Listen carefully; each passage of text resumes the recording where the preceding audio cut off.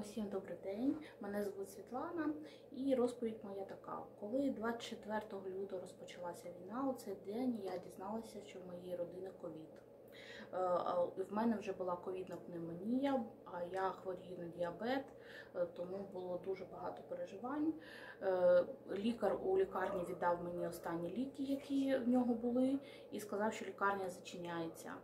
Е, Тому ми були вдома і з вікон ми бачили, як бомбили Антоновський міст, і дуже хвилювалися. Е, Моє життя після 24-го змінилося дуже сильно, е, бо в мене від хвороби після ковіду померла мати. Е, Я втратила роботу, е, діти е, не могли нормально вчитися, тільки онлайн заняття, і постійно не було то води, то світла, то інтернету. Ціни здорожчали у три рази. Установи у Херсоні не працювали, і все це було дуже дуже важко.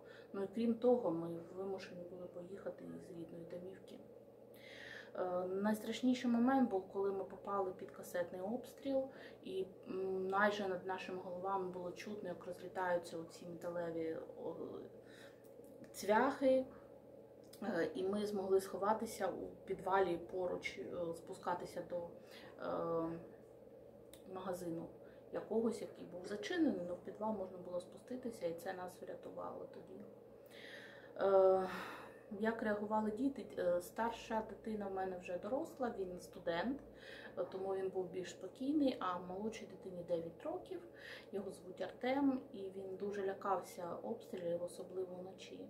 Він завжди прибігав до нас, він не міг спати, і зараз, коли ми вже в безпеці, він все одно не може спати тільки зі мною. Е, державні пільги я не отримую. Я могла б отримати як мати одиначка, але оскільки до початку війни е, я стояла вже на обліку у центрі зайнятості, роботу мені знайти не змогли. е, То якщо ти офіційно не працюєш, то потім пільги отримувати не можеш. Е, Чи гуманітарна допомога під час окупації від Червоного Христа і ЮНІСЕФ до нас не доходила зовсім. Е, Після деокупації так ми от отримали від Червоного Христа допомогу, і тут у Миколаєві, вже коли виїхали, е, харчові набори від ЮНІСЕФ. Виїжджали ми е, потайки, бо ми живемо на самому березі річки, і на тій стороні були снайпери, до нас боялися спускатися.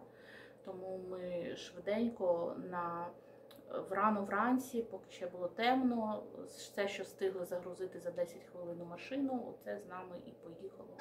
Тут ми живемо в Миколаєві на зйомній квартирі. Е, Вона не безкоштовна, мені доводиться платити за комунальні послуги, за квартиру, і це, мабуть, е, найбільша моя проблема знайти гроші, все це оплачувати постійно. І найбільше я боюся, що моє місто не має майбутнього. Дуже боюся, що до нас не повернеться наша область з морем.